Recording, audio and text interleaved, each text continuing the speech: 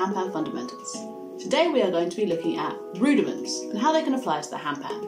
If you're a drummer used to playing with drumsticks, you'll be really familiar with these, but we're going to see how they can be applied to the handpan. So we're going to start off with rudiment number one, single stroke rolls. A single stroke roll is exactly how it sounds. One hand hits, then the other hand, then this hand, then that hand how does it get super duper fast? What we're going to do is a couple of exercises to put single strokes onto the handpan. Every exercise we do is right then left, so if you've just played with one hand, you can be sure it's the other one that's about to come next.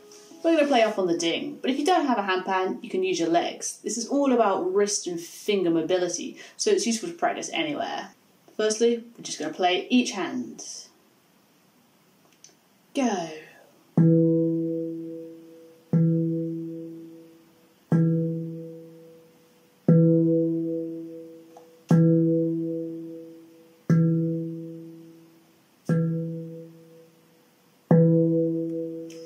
Got the idea? Great. Now we're going to split those notes in half, so we're going twice as fast. Go!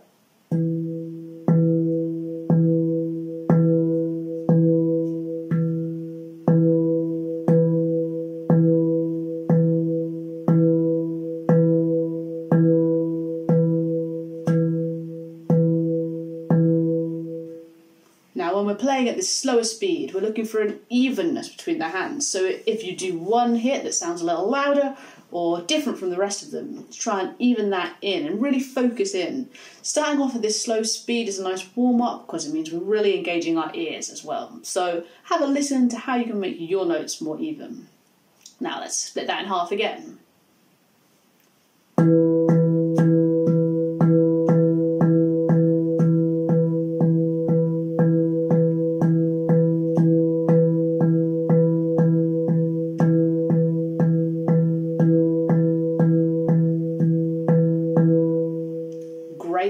Zoning in on the sound, but also starting to think about this up and down motion. As one hand comes down, the other one's coming up. Let's split it in half again.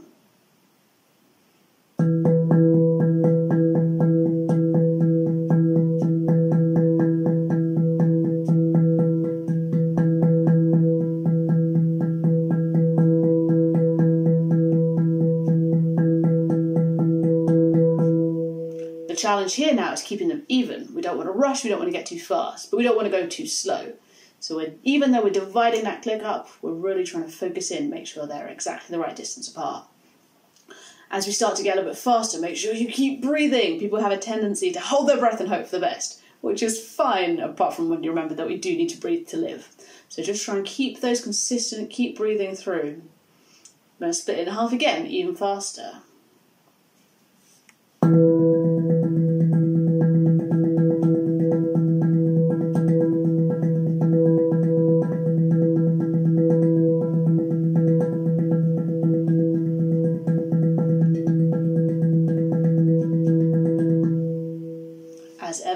Relaxation is key. As we start to get faster, you can feel a little bit more that your forearms are having to work to get that going. So finally, we're going to string them all together. We're just going to do four beats of each one, getting faster and faster and faster and faster, starting off with the right hand.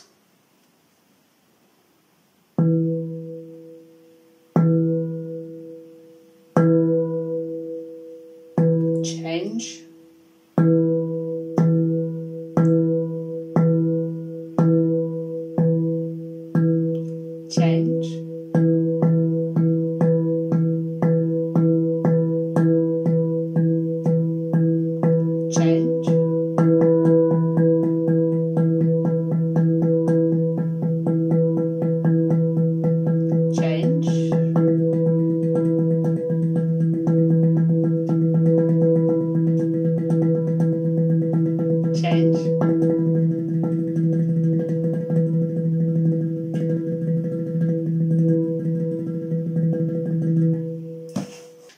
Exercise with the pointer fingers. Of course, we can do the same thing with the thumbs, we can do the same thing with the middles, rings, and even the little fingers.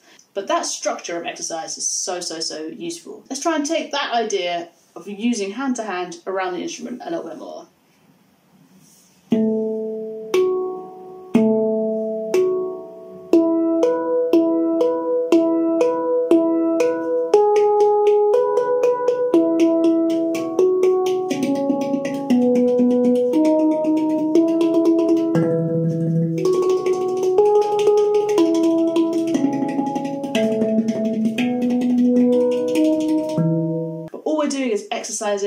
Right, that left, that right, that left.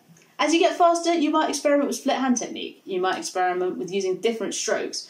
But the idea is that it's always a stroke on the right and it's a stroke on the left. So, how do those single strokes turn into a roll? Well, a roll is the drummer's way of sustaining. Just as a singer can say la or la. With the drums, we have a problem. Once you've hit the note, even with a handpan which can ring, it disappears. Can't make it sustain any longer than that, so I have to re-articulate. I have to hit again. But rolls aren't normally really square. On the handpan, I don't want to necessarily hear every single note articulated, and that's where our ears come in. I'm listening out for the point at which my instrument sings. I don't need to hear every single note articulated perfectly. Just need to have my hands able to move fast enough that the instrument resonance picks up to itself. So have a listen. I'm just going to play it on the ding. Let's see if we can notice the point where it turns from exactly in time into a roll. And that's going to be different on every instrument and for every set of hands. So you just have to listen to your own.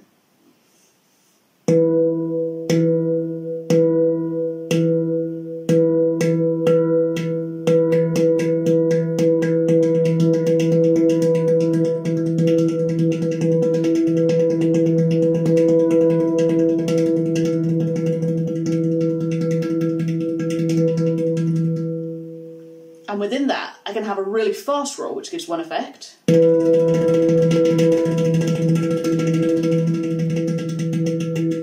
the way down to a little slower roll.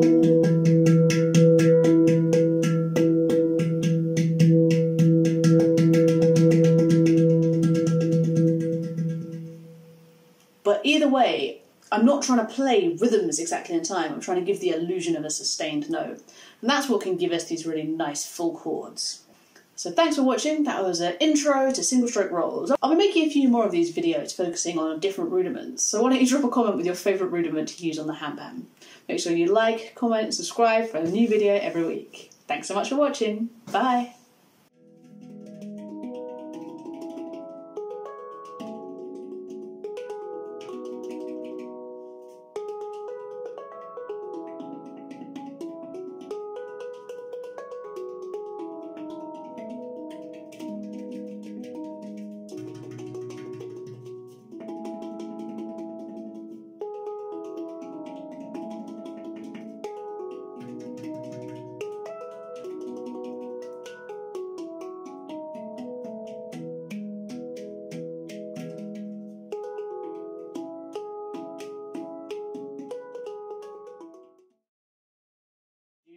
Four beats of each one getting slower and slower and slower and slower. four beats of each one getting faster and faster and faster and faster.